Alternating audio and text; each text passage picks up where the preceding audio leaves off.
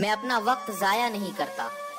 कि मैं अपना वक्त जाया नहीं करता हाँ पबजी खेल लेता हूँ, किसी का दिल दुखाया नहीं करता। वो बात अलग है, कुछ लोगों के जहन में मेरे लिए नफरत बहुत है। कि वो बात अलग है कि कुछ लोगों के जहन में मेरे लिए नफरत बहुत है, पर मैं उन्हें बैठा कर कभी समझाया नहीं करता। और अपने लफ्जों से उन्होंने मुझे बहुत चोट पहुंचाई है।